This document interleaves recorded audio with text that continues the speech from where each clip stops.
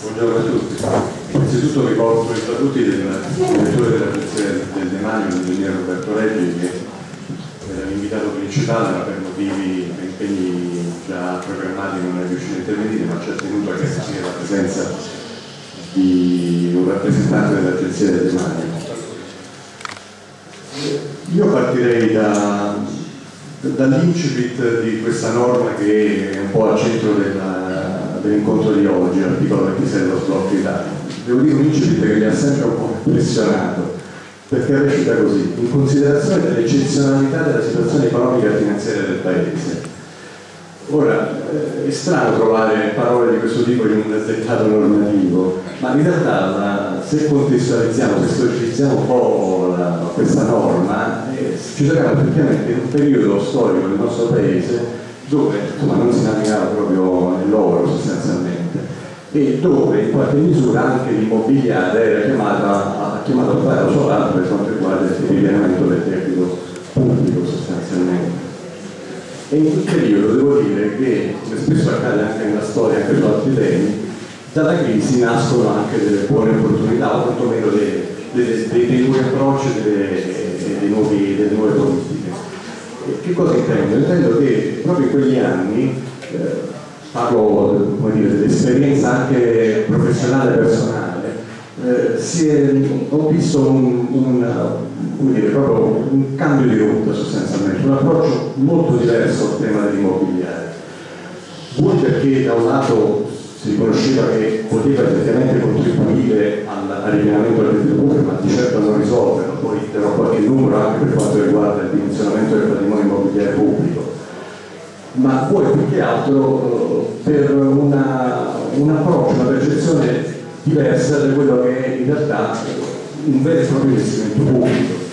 E mi sembra di poter dire che a partire da quegli anni si condivide la consapevolezza che c'è un tema che proprio accomuna tutti i soggetti proprietari del patrimonio pubblico, che non è più tollerabile abbandonarlo, sopportare solo costi di mantenimento, ma che diventa necessario in qualche modo riutilizzarlo e nel riutilizzarlo l'obiettivo della finanza pubblica non è, non è più l'unico o il prevalente.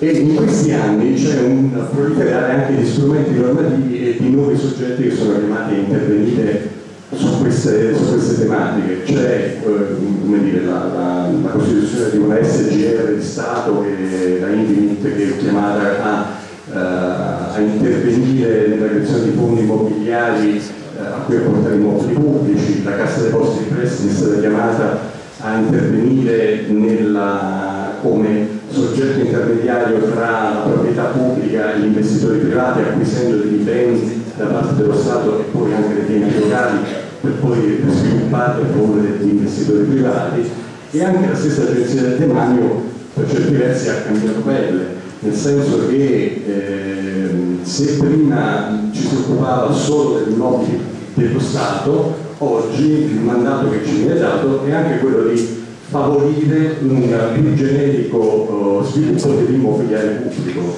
e quindi eh, negli ultimi anni è sempre più diffusa la pratica di, eh, anche in maniera proattiva, di andare a, al tavolo del, degli altri soggetti pubblici, in particolare degli enti territoriali, per fare un discorso comune sulla valorizzazione degli immobili presenti sul territorio. Ora, l'articolo 26, quindi anche il, comma 1 bis, si inquadra secondo me in questo contesto e costituisce uno degli strumenti che possono essere messi in campo per arrivare, arrivare a questo obiettivo. In realtà ho pensato molto all'intervento iniziale eh, fatto dal, dal segretario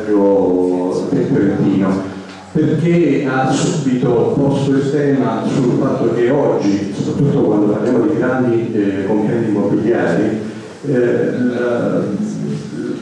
la, regola urbanistica di per sé, oltre che l'attenzione degli amministratori locali, eh, impone a chi, si, a chi, è chiamato a sviluppare questi compendi di eh, dedicare una quota parte delle volumetrie proprio non solo all'edilizia residenziale pubblica ma anche al social housing variamente denominato quindi eh, alla possibilità di vendere o affittare immobili a prezzi eh, regolamentati sostanzialmente.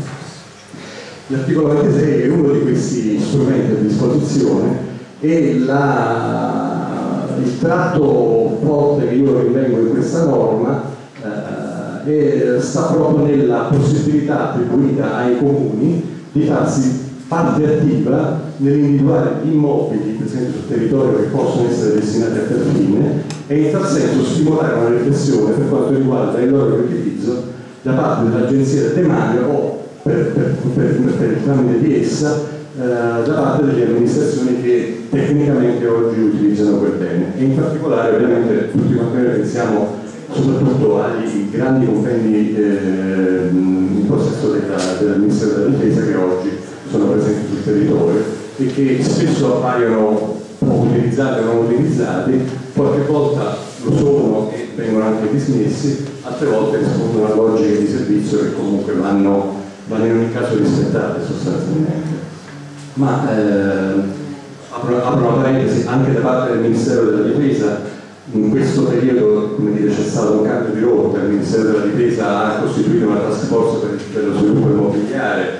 ha messo a disposizione eh, tanti importanti immobili per le operazioni di vendita straordinaria, comunque anche per le operazioni di valorizzazione che ancora oggi facciamo e anche nell'ambito dell'articolo 26 ha dismesso grandi compendi immobiliari per mettere a disposizione della progettualità degli enti locali.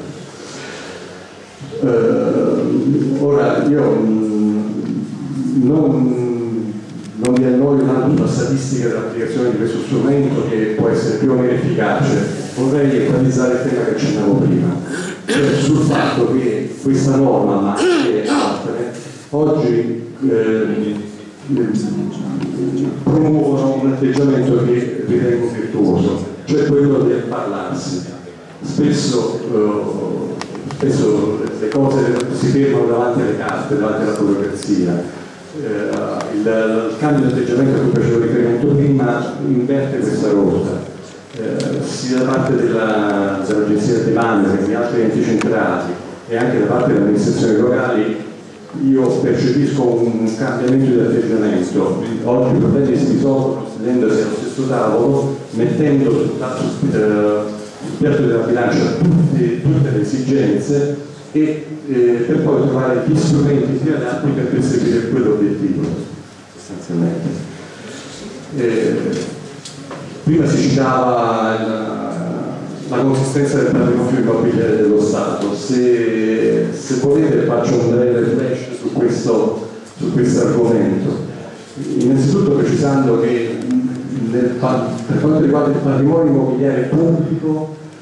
in realtà solo un 20% è di proprietà dello Stato, circa l'80% è in realtà di proprietà di altri soggetti pubblici, in particolare gli enti territoriali, regioni, province e comuni. Per quanto riguarda invece il patrimonio dello Stato, adesso vi cito anche delle, dire, dei termini che sono molto tecnici per quanto riguarda la, la natura giuridica, ma eh, per essere molto semplice, in realtà il patrimonio disponibile, cioè quello che non è eh, soggetto a vincoli di sorta e che può essere immediatamente riutilizzato,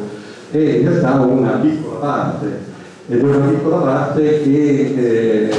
è anche caratterizzata da una, come dire, che è costituita testualmente da 16.263 tra fabbricati e terreni per un controllo di 2 miliardi passa. Se leggiamo insieme questi due elementi ci rendiamo conto che si tratta di un patrimonio immobiliare disponibile molto parcellizzato e quindi anche di eh, scarsa importanza sia in termini di consistenza che di valore. Più importante effettivamente può essere quello, uh, del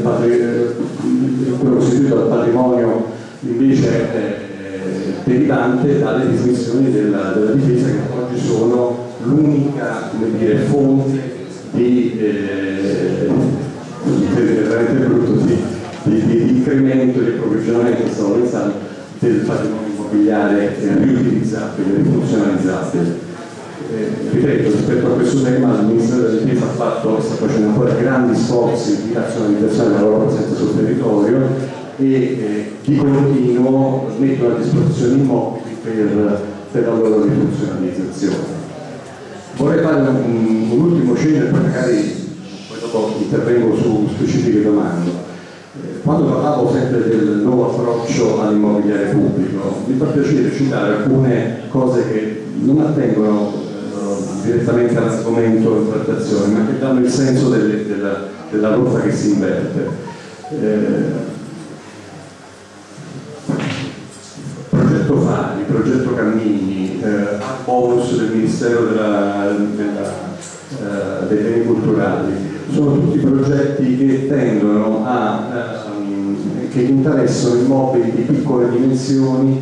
eh, qualche volta anche di un certo pregio storico artistico, in altri casi no, ma sono tutte norme che, eh, come dire, che alla, al ritorno economico appunto, puntano al riutilizzo di contenitori vuoti sostanzialmente, favorendo tra l'altro anche l'intervento di, di, giovani, di, di start-up, del terzo settore. Eh, questa sembra una cosa banale, ma in realtà eh, non era così fino a pochi anni fa. Fino a pochi anni fa la logica era quella del massimo sfruttamento economico degli immobili. Oggi c'è una una, una, maggiore consapevolezza che anche in considerazione delle scarse risorse del, del, pubblico questi contenitori devono essere utilizzati e le forze vive stanno sul territorio della cittadinanza e del terzo settore. Io chiuderei qui se volete fare poi domande. Grazie. Eh...